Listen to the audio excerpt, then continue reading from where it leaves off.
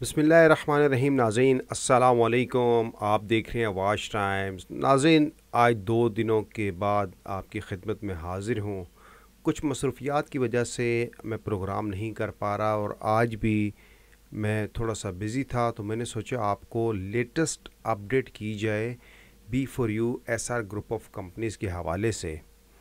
क्योंकि जो उनके मोटिवेशनल स्पीकर हैं, राजा रियाज, जो धमकियाँ देने में बड़े माहिर हैं उन्होंने एक वी लॉग किया और उसमें बहुत सी बातें उन्होंने की, नैब कोर्ट के मतलब और उसमें इस तरह लग रहा है अपेरेंटली वो इल्ज़ाम लगा रहे हैं नैब के ऊपर। खैर, इसके ऊपर भी बात करूँगा। दूसरा नाजिन आज मैं आपको बताऊँगा कि जो सैफ़ुररहमान ख़ान न्याजी हैं, इस वक्त अडयाला जेल में कौन सी बैरक में हैं, उनके साथ क्या हो रहा है, किस तरह का प्रोटोकॉल उनको दिया जा रहा है, मुलाकातें कहाँ पे कराई जा रही हैं कितने पैसे दिलवाए जा रहे हैं। और सबसे अहम बात नाजरीन कि सैफुररहमान ख़ान न्याजी को प्रोटोकॉल देने में जिस वज़ीर का हाथ है वज़ी जेल खाना जात फ़याज़ुल हसन चौहान, वो आप बखूबी जानते हैं। क्योंकि फ़याज़ुल हसन चौहान सैफुररहमान ख़ान न्याजी के घर गए थे, वहाँ पे उन्होंने अफ्तार डिनर भी किया था और इस हवाले से मैंने एक प्रेस कॉन्फ्रेंस में फ़याज़ुल हसन चौहान से सवाल भी किया था और उस पर उन्होंने कहा था कि इस तरह तो मरीम नवाज़ के ऊपर भी केसेस हैं, आप उसकी भी कवरेज ना करें। लेकिन लगता यही है कि सैफ़ुररहमान ख़ान न्याजी और फ़याज़ुल हसन चौहान एक दूसरे के दस्तराज हैं, जिस तरह का प्रोटोकॉल दिया जा रहा है। अब ये एक छोटा सा केस तो है नहीं, क्योंकि नैब कहती है 116 अरब रुपए का ये केस है अभी तक की जो तहकीकात की गई हैं। अब नैब ऑर्डीनेंस आ गया, उस वजह से थोड़ा सा रिलीफ इनको मिल गया, लेकिन आर्डीनेंस के हवाले से मैं आपको एक बात वाज़ कर दूँ कि रात को भी मेरी हुकाम से बात हुई थी तो उनका ये कहना था कि अगर पब्लिक चिटिंग एट लार्ज के केसेस नैब के हाथ से निकल गए तो नैब बिल्कुल एक ऐसा इदारा बन जाएगा कि जिसके पास करने के लिए कुछ नहीं होगा।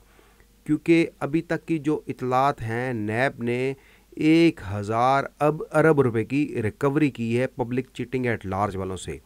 जो पब्लिक ऑफ़िस होल्डर के लोग हैं, आपको मालूम है सियासतदानों से रिकवरी तो होती नहीं है, लेकिन ये जो लुटेरे, बहरूपी होते हैं, जो आवाम को लूटते हैं, इनसे नैब आसानी रिकवरी कर सकता है।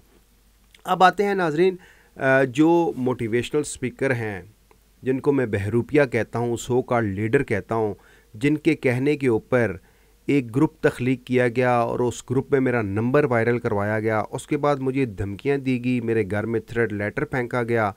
बहुत सी और बातें उस हवाले से कानूनी कार्रवाई हमने शुरू कर दी है और बाबा तौर पर एक दरख्वास्त दी गई है और अनकरीब आपको बताएँगे कि उस दरख्वास्त में जिन लोगों को हमने नामजद किया है, उनके साथ क्या होने वाला है।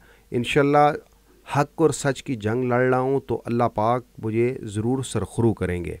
लेकिन यहाँ पे एक बात आपको और बता दूँ, कोई जो बी फॉर यू के इंटरनेशनल स्पोक्स पर्सन हैं, शेख मोहम्मद साकिब शामी, जो इस वक्त मलेशिया में हैं और उनकी भी जायदाद का सुराग हमने लगा लिया। कहाँ कहाँ पे उनकी जायदाद है, कहाँ कहाँ पे उन्होंने और इन्वेस्टमेंट की हुई है, मलेशिया में वो क्या कर रहे हैं, कहाँ पे उनकी रिहाइश है क्योंकि ये मोजिन हैं एक मस्जिद के।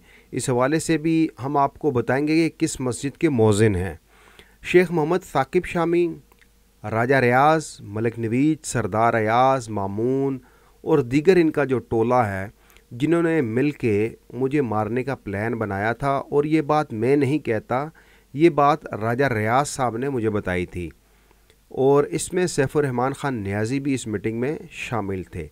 अब ये बात तो क्लियर होगी कि बी फॉर यू या S R group of companies के ख़िलाफ़ जो भी आवाज़ बुलंद करता है, मैंने जब से ये आवाज़ बुलंद की, मैंने हमेशा सबूतों के साथ हर चीज़ ऑन एयर की। लेकिन मैं आपको ये बता दूँ कि राजा रियाज के कहने पे जो ग्रुप तख्लीक हुआ, मेरे नंबर्स वायरल किए गए, क्योंकि इससे कबल जब एहतसाब अदालत में सैफ़ुररहमान ख़ान न्याजी को सात अक्टूबर को पेश किया गया तो उस वक्त राजा रियाज ने मुझे कहा कि मैं आपका नंबर मलिक नवीद को दे रहा हूँ, वो आपसे रबता करते हैं। जब मेरे साथ बदतमीज़ी हुई थी वहाँ पे, उसके बाद वो नंबर ग्रुपों में वायरल हुआ और फिर जब मैंने राजा रियाज के ख़िलाफ़ एक प्रोग्राम किया तो दोबारा मेरा नंबर ग्रुप्स में वायरल करके एक ग्रुप तख्लीक किया गया। वो ग्रुप भी उसी दिन तख्लीक हुआ। वो तमाम चीज़ें हमने मुतलका जो इदारे हैं उनको फ्राहम कर दी हैं। और अब इनको हम बताएँगे इन जिस तरह नवीज सत्ती साहब जो सीनियर जर्नलिस्ट हैं, उनने, उन्होंने भी कल के प्रोग्राम में वाजिया तौर पर कह दिया कि आप अगर धमकियाँ देंगे, अगर आप बंदे लेके आ सकते हैं तो हमारे जो जर्नलिस्ट बरदरी है, हमारे भी ग्रुप्स हैं, हमारी भी यूनियन हैं तो हम अपनी यूनियन को लेके एहतजाज करेंगे और आपको पता चलेगा कि एहतजाज किस को कहते हैं।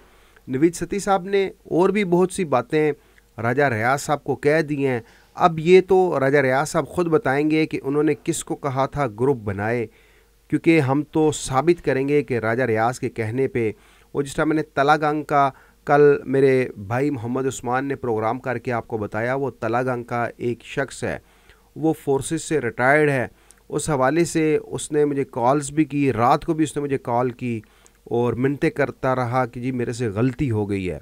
लेकिन अब इस गलती का अजाला हम अपने तरीके से करवाएँगे, हम इन कानूनी कार्रवाई करेंगे और आपको बताएँगे कि घरों में थ्रेड लेटर घरों में गोलियाँ फेंकना कॉल्स करके धमकियाँ देना, इसका नतीजा क्या होता है? पहले दिन से तो मैं आपको यही कह रहा हूँ कि बी फॉर यू गैर कानूनी कंपनी है। मोटिवेशनल स्पीकर बहरूपिए राजा रियाज साहब ने एक वी लॉक किया और उसमें उन्होंने अपने हाथ पे अडयाला जेल की एक मोर लगाकर वो प्रोग्राम किया। और उससे एक चीज़ तो साबित हो गई है कि उसको कोई जुटला नहीं सकता कि जो मोटिवेशनल स्पीकर बहरूपी हैं, राजा रियाज, उनकी मुलाकात वीआईपी तरीके से करवाएगी। और उस मुलाकात के एवज कितने पैसे दिए गए, अभी मैं आगे चल के आपको बताऊँगा। आपको मालूम है कि अप्रैल में जो वज़ी जेल खाना जात हैं, उनको अफ्तार डिनर पार्टी सैफ़ुररहमान ख़ान न्याजी ने दी थी और ये उस वक्त दी गई थी जब नैब ने सैफ़ुररहमान ख़ान न्याजी के ख़िलाफ़ इंक्वायरी शुरू की थी और सैफ़ुररहमान ख़ान न्याजी सियासी छतरी ढूंढना चाहता था। अब जब वो जेल गया तो फैज़ुल हसन चौहान की हिदायत पर, यानी कि इन्होंने जेलर को, जेल सुप्रिटेंडेंट और डिप्टी सुप्रिटेंडेंट को ये अहकाम दिए कि सैफ़ुररहमान ख़ान न्याजी को फुल प्रोटोकॉल दिया जाए। सैफ़ुररहमान ख़ान न्याजी को उनकी जो गिनती की गई है, वो अस्पताल में की गई है, यानी कि उनको किसी भी अब जेल में आठ बैरकें हैं और हर बैरक में आठ कमरे हैं। ठीक है, चौंसठ कमरों में सैफुररहमान खान न्याजी को नहीं रखा गया, बल्कि उसकी गिनती अस्पताल में करके उसको अस्पताल में लटा दिया गया और पूरा दिन जो मुलाकातें होती हैं सुप्रिटेंडेंट कमरे के साथ एक हाल बना है, वहाँ पे मुलाकातें करवाई जा रही हैं और अभी तक जो इतलात हैं कि इन मुलाकातों के एवज़ जेल सुप्रिटेंडेंट और डिप्टी सुप्रिटेंडेंट लाखों रुपये रिश्वत ले रहे हैं।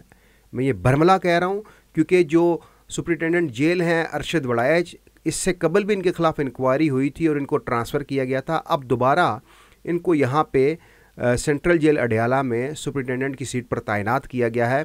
लेकिन एक बात तो वाजह है कि जो मोर लगाकर वी लॉक करना और उसके बाद सैफुररहमान ख़ान न्याजी की गिनती अस्पताल में करके उसको अस्पताल में लिटा देना ये इस, इसका सबूत है कि सैफुररहमान ख़ान न्याजी को सेंट्रल जेल अडयाला में फुल प्रोटोकॉल दिया जा रहा है।